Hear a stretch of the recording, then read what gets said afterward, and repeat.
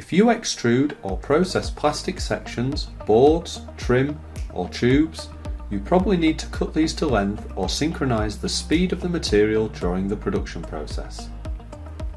This is Speetec by SICK, a non-contact sensor that measures the speed and length of almost any material and provides industry standard signals to HMIs or PLCs. To demonstrate, we will take a 1186mm long sample of plastic trim.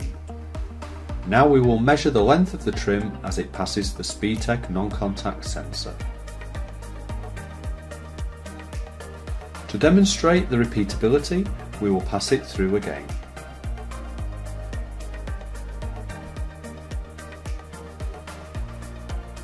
Taking a plastic section with a length of 999mm will perform the same test.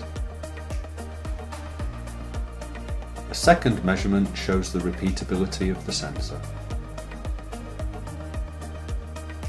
With Speetec, there is no mechanical wear, no slippage issues, no marking of the product, and accurate measurements.